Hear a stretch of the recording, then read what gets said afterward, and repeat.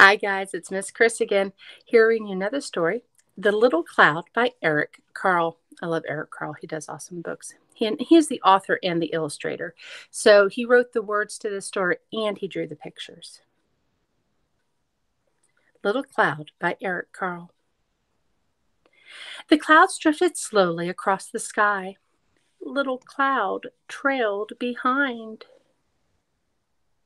The clouds pushed upwards and away. Little cloud pushed downwards and touched the tops of the houses and trees.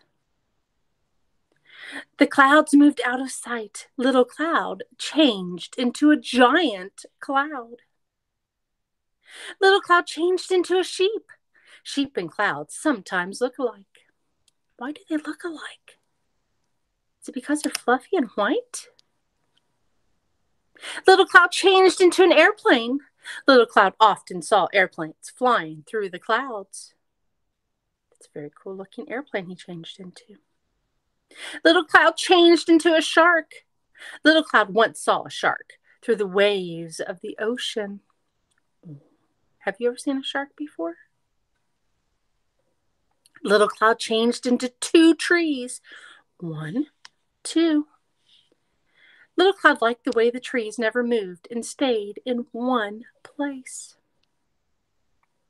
Little Cloud changed into a rabbit. Little Cloud loved to watch rabbits dash across the meadows. Oh, he's a big bunny in the sky. Then Little Cloud changed into a hat because. Oh, why do you think he might change into a hat? What do you think the hat may be for? Let's see.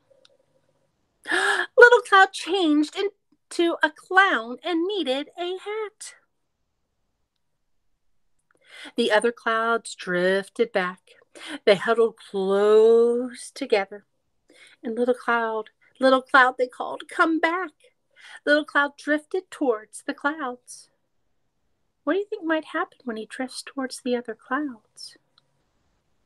Let's turn page and see.